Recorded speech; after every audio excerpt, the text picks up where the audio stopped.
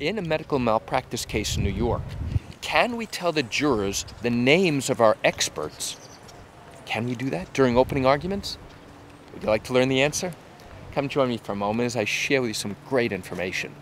Hi, I'm Gerry Oginski. I'm a New York medical malpractice and personal injury attorney. The answer is yes, we can. We can tell the jury the names of our experts.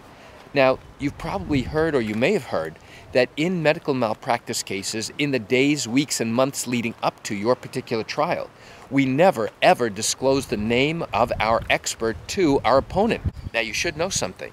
We are required to notify our opponent, the defense, that we have various medical experts that we are bringing in to testify on our behalf. We are required to give information about exactly what it is that they will be testifying about we are required to give the credentials of each one of our experts so that now the defense can try and do research to dig up who this person is and to get information about this person to use during cross-examination. So those are things that each side is required to do. But in a malpractice case, we are never, ever required to disclose the name of our expert.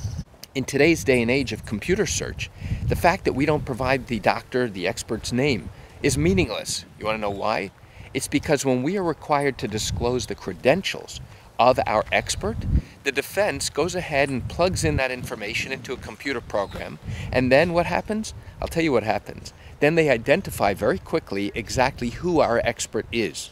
So the fact that we are required to disclose the credentials of our expert, but not the name, really at this point is meaningless because with a little bit of effort and a little bit of ingenuity, they're going to learn, just like we do, the name of the expert.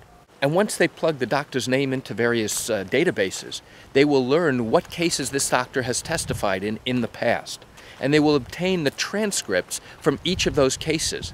And then the attorneys will spend lots of time scouring, literally going through page by page each and every one of those transcripts to try and see if there's anything in there that can be used to contradict them or to destroy the doctor's credibility.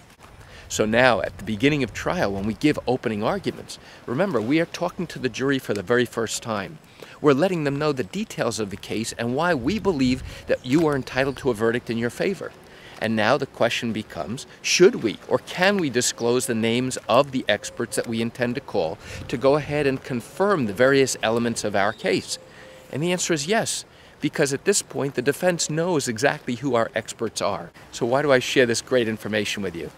I share it with you just to give you a sense of what happens in a medical malpractice case in New York. You know, I do recognize you're watching this video because you likely have questions or concerns about your own matter. Well, if your matter did happen in New York and you're thinking about bringing a lawsuit, but have not done so yet because you still have questions that need to be answered, what I invite you to do is pick up the phone and call me. You know, I answer questions like yours every single day, and I'd love to talk to you. You can reach me at 516 487 8207 or by email at gerry, G E R R Y, at oginski law.com. That's it for today's video. I'm Gerry Oginski. Have a wonderful day.